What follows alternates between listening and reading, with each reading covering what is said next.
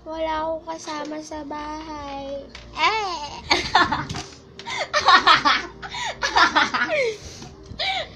Oo. Itlog lagi ulam namin.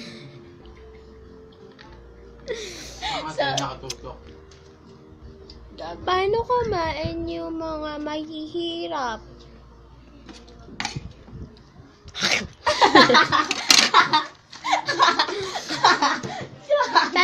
mayayaman?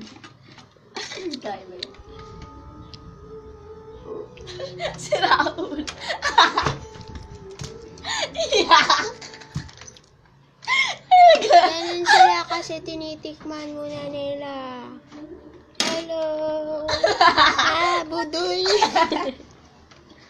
Paano kumakain? Paano naman ako kumain?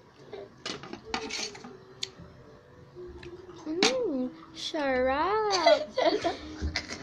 Sarap po sa bakit.